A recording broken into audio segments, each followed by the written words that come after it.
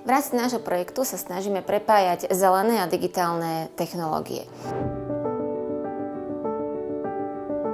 Obsahom sú tie zelené technológie. Našim žiakom sa snažíme vštepovať tie také základy starostlivosti o životné prostredie aj vo vzťahu k udržateľnému rozvoju prírody, ale aj nášho regiónu. A tým nástrojom sú práve technológie, to znamená tá digitálna stránka.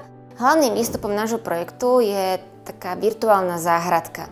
Každý, kto tú aplikáciu potom bude používať, či to budú mladí, deti, mládež, stredoškoláci, ale napríklad aj seniory, tak si budú môcť založiť takú svoju vlastnú virtuálnu záhradku, kde si budú môcť e, teda rozhodnúť, či budú pestovať ktorú zeleninu alebo prípadne nejaké drobné ovocie.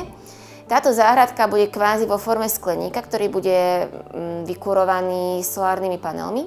Takže chceme vypočítať, kedy alebo dokedy sa oplatí pestovať zeleninu v záhradke a nie ísť kupovať dovážanú zeleninu, ktoré za sebou zanecháva veľmi veľkú uhlíkovú stopu. A chceme týmito ekologickými a ekonomickými prepočtami poukázať na to, že naozaj treba obetovať kúsok času a dopestovať si mm, svoju vlastnú zeleninu alebo svoje vlastné ovocie.